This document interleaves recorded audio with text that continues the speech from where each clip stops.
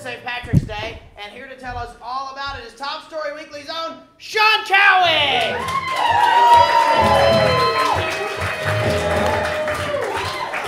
Thank you, thank you, thank you, Phillip. Thank you so much for having me. Thank you all.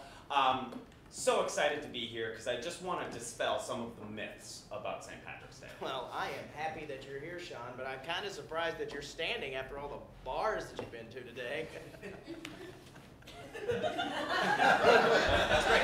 Yeah, I get it because I'm Irish, so I must be drunk right now. No, I'm just, I'm just making a joke. That's a joke. Yeah, it was a very, very good joke. Good for you. Why don't we focus on that, huh? We'll just focus on how Irish people are drunks, and we won't talk about any of the contributions of Irish culture. Great. Irish culture, like the yeast they use to make Guinness. Oh my God. Uh, Lauren!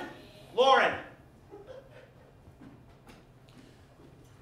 It's real good, man. That's great. See, you're, Thanks. you're kind of proving my point right here. Have no idea what that was. That could have been iced tea. Thank you. Okay, I'm sorry.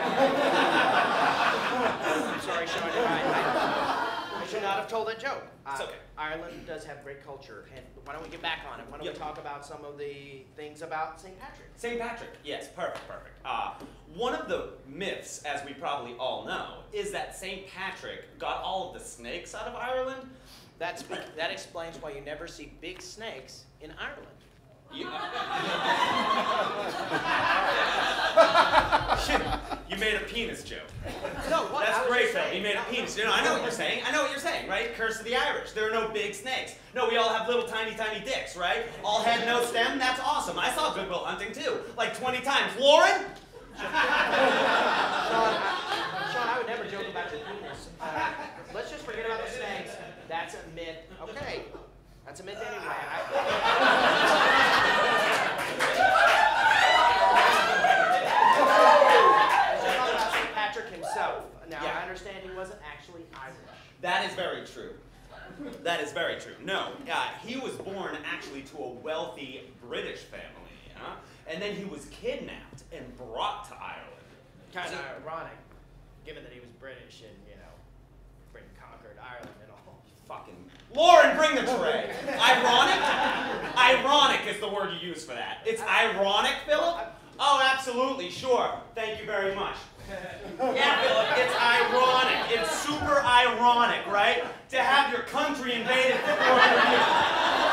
Right? To have your land seized, right? To have your language. Hold on.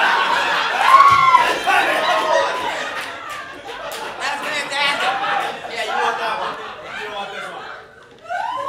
Ugh, to have half your population wiped out, to watch your people starve and die. Ironic is the word to choose for that, Phillip. Sean, I didn't mean anything by it. Oh, yeah. Please don't lose your temper. Good for you, right?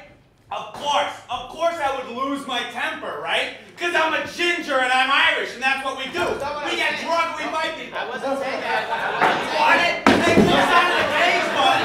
Let's fucking do this thing. Come on, Sean. What do you want from me? Sean, Sean, look.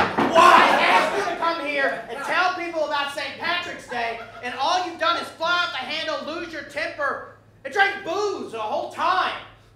I don't understand it. This segment is over. I'm sorry.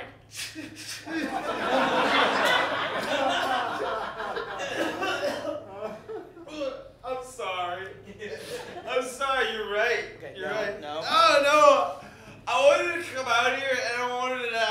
I wanted, I wanted to talk to you guys about Irish people. And I just wanted to show you that Irish people are more than just drunk guys you see a bar spot on. And I wanted to show you guys that St. Patrick's Day is not just an excuse to go out drinking. But I didn't do any of that.